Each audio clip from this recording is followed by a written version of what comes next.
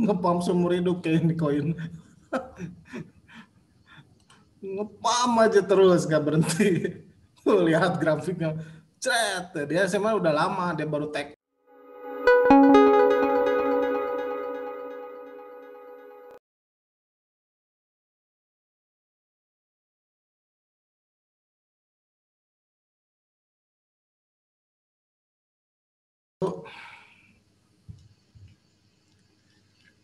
Halo, selamat malam teman-teman semua. Kita ketemu lagi di channel Investor Crypto bareng saya Alvin dan saya dari Investor Crypto. Halo, Dad. Hmm? Ini pertama-tama kita perlu mengucapkan terima kasih nih buat teman-teman semua. Oh iya. Karena subscriber di channel kita akhirnya mencapai di atas 1000 Oh iya. Uh, subscriber. Ya, terima kasih banyak teman-teman ya Terima kasih supportnya. Nah, bantu kita ya menuju 10 ribu ya. ya semoga informasi yang kita sajikan bisa berguna buat teman-teman ya. Ya itu sih itu tujuan utama kita lah. Tujuan utama kita sharing sharing informasi uh, investasi di cryptocurrency. Si tujuan gua itu sih sharing aja, sharing.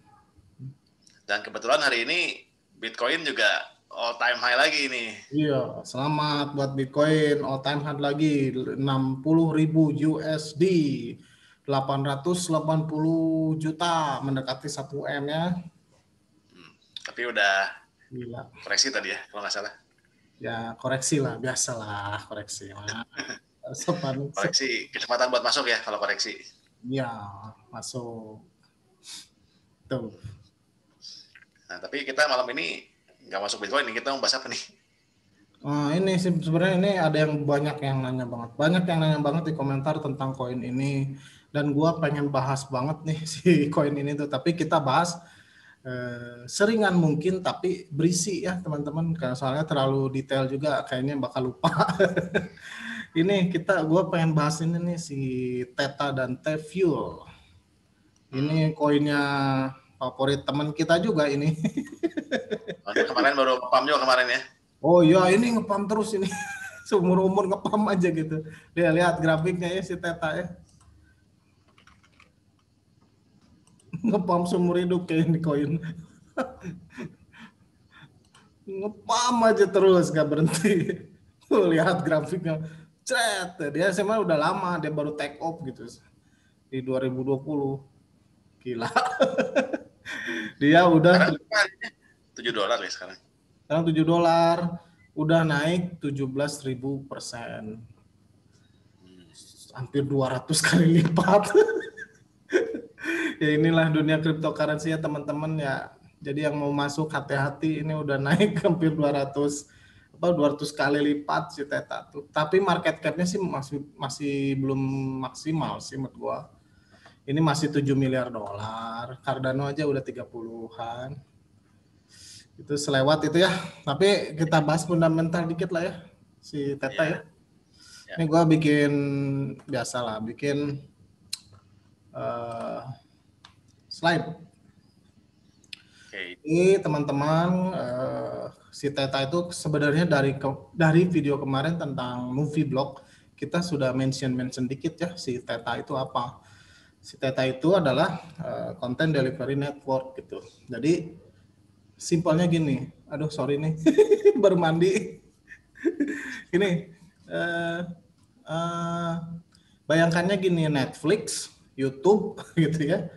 Pokoknya Netflix, YouTube, nah decentralize-nya gimana gitu. Nah intinya itu sih use case-nya itu ya adalah decentralized content delivery network gitu. Jadi teman-teman streaming, teman-teman upload nih kayak gini nih video si investor crypto mau pokoknya uh, upload film, uh, upload uh, pelajaran, misalnya kayak apa ruang ruang guru gitu-gitu. pokoknya konten delivery network, tapi sebenarnya dia lebih fokus ke streaming sih gitu.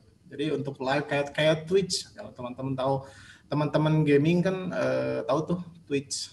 Antar saya akan sebutkan itu si co-foundernya YouTube yang dulu pertama kali sama co-founder Netflix ikutan yang di si Project Data ini makanya ini sih menurut gue uh, project gila sih gua. Keren sih pantas aja ngepam nggak berhenti berhenti sih. Uh, itu satu ya use case-nya itu decentralized content delivery network. Simpelnya youtuber eh youtuber YouTube versi decentralized Netflix versi decentralized gitu. Twitch versi decentralized. Ada di Sitata semua ini gitu. Nah, kita bicara teknologi dulu ya. Dulu sih dia cuma di RC20 token, tapi sekarang dia udah punya uh, network sendiri ya. Jadi bukan token lagi, dia udah koin ya. Terus konsensus protokolnya sama kayak apa ya ini ya.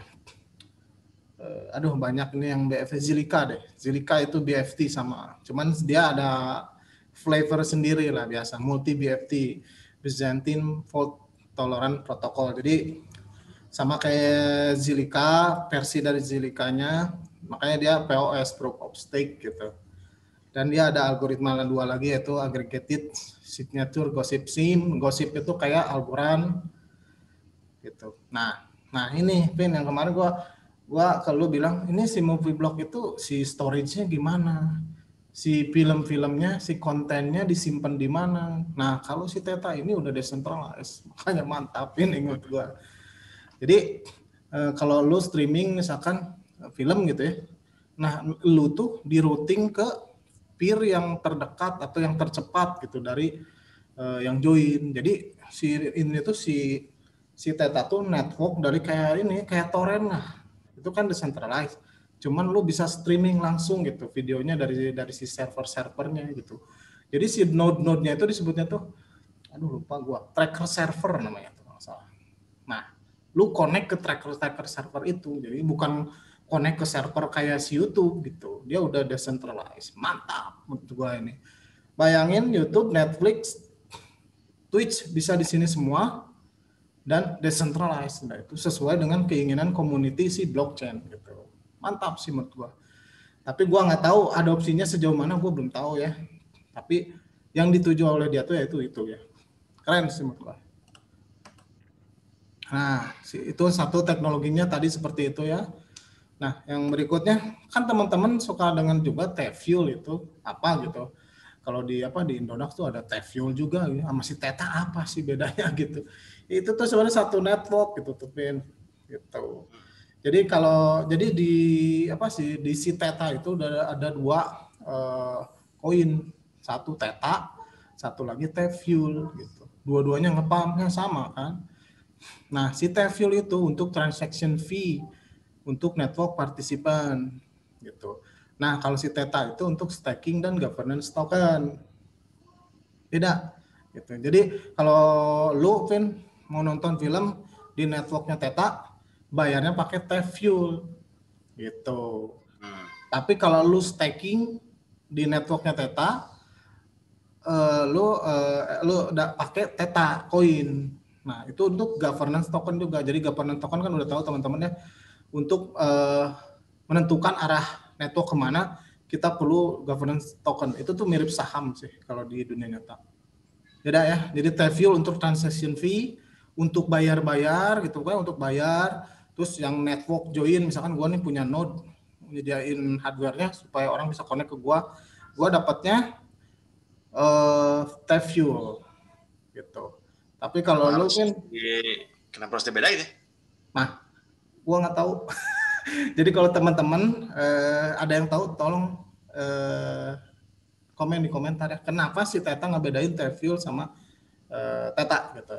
Kalau gua sih tebakan gua emang secara apa eh, mungkin sub network gitu kayak gitu-gitu si T-Fuelnya mungkin ya itu ya perbedaannya itu ya Teta sama Teviol.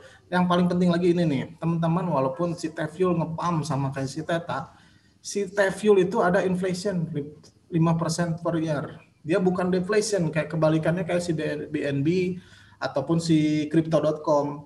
Kalau BNB kan setiap tiga bulan dia bakal ngeburning, berarti kan berkurang si total supply-nya si Crow juga sama si Crypto.com. Nah si Tevil ini inflation dia nambahin koinnya 5% per year setiap tahun. Nah walaupun ngepam teman-teman harus tahu nih secara fundamental bahwa dia itu ada inflasi 5% gitu. Jadi si koinnya itu bertambah terus sama kayak Doge gitu.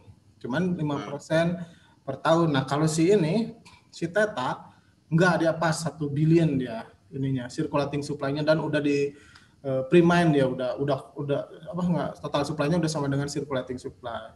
Keduanya si Teta itu stakingnya persennya kecil satu persen gitu. Kalau kayak yang lain Cardano 5 persen, si BN Protocol 17 persen, si BN berapa persen gitu. Nah si Teta stakingnya itu cuma satu persen satu persen gitu. Jadi itu ya bedanya Teta sama Tefuel Tepil buat transaction fee, buat bayar, bayar. Nah, kalau si Teta urusannya sama governance gitu, buat dan buat staking gitu.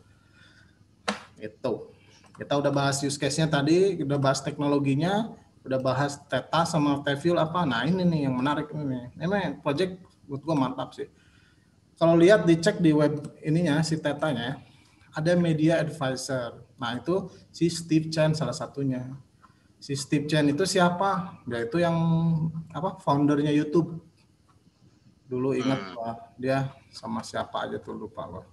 Si Steve Chen ya dia kan kredibel dong orangnya. Itu kedua ini teman-teman gamer harus tahu kan ini Twitch, co-foundernya Twitch. Twitch itu streaming yang paling beken uh, sebelum YouTube bisa streaming loh dia. Yang gamer gamer gamer tahu lah Twitch ini gitu jadi secara tim secara uh, secara uh, dukungan mantap tapi gue secara adopsi gue nggak tahu tapi sih eh, kayaknya udah mulai partnership partnership gitu juga gitu ya mungkin nggak akan se kalau bicara adopsi kan yang paling tinggi di kripto kan cuma Ethereum lah ya gitu nah yang paling gede kan nah, si Teta itu gue nggak tahu sejauh mana dia uh, uh, adopsinya. Tapi sih menurut gua ini mantap sih project jangka panjang gitu. Kalau teman-teman teman yang mau beli sekarang kan udah ngepang kenceng banget gitu. Kalau teman-teman pengen invest di Teta, gua gua bakal invest di Teta gitu, tapi nggak sekarang. Sekarang udah tinggi banget sih menurut gua gitu. Mungkin gua nanti tunggu setelah bear market gua gitu. Soalnya eh, time horizon gua di kripto bukan tahun 2021 doang gitu. Gua ya udah sampai 10 tahun ke depan mungkin gue bakal invest terus di kripto lah gitu. Kalau bull market gue jual dulu sementara gitu. Biar market gue beli lagi gitu. Soalnya ini masih panjang menurut gue. Orang-orang masih bilang uh, ghost chain, ghost chain itu masih kayak kuburan belum pada pakai, tapi teknologinya udah tinggi gitu. Kalau Ethereum kan udah banyak yang pakai gitu. Ini beneran masa depan sih menurut gue. Dia bakal menjadi YouTube killer katanya Netflix filler gitu gitulah. Orang udah malas. Jadi gini, Uh, kenapa bisa jadi? Data daripada Tevil berarti kalau mau invest? Uh, kalau gua, san gua Teta. Soalnya Teta itu secara ekonomik uh, bagus naik harganya gitu. Kalau Tevil kan ada inflasi gitu. Jadi nambahin terus. Ini nih Nah ini jangka panjang banget sih menurut gua ini suatu ini bayangnya ini tuh ya bayang gua gua tertariknya gini gua, kita pun sebagai inilah konten kreator lah kesannya ini ya kalau join di Teta uh, revenue sharingnya kan kalau di YouTube kita dipotong sama YouTube kasarnya gitu ya. Ntar gua nggak tahu sih gua. Cuman yang punya kita dipotong-potong gitulah. Nah kalau si Teta ini beneran decentralized gitu.